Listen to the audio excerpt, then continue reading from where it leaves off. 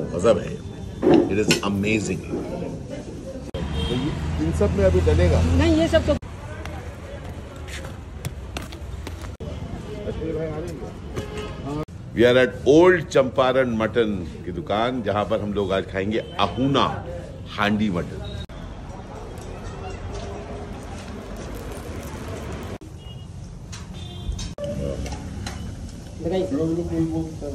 बताइए।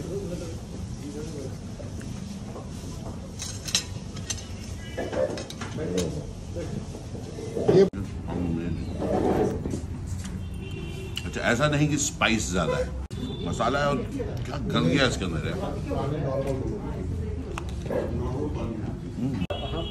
जो हांडी वाला में होता है ना उसमें ज़्यादा सॉफ्टनेस आप लोग समझदार हैं।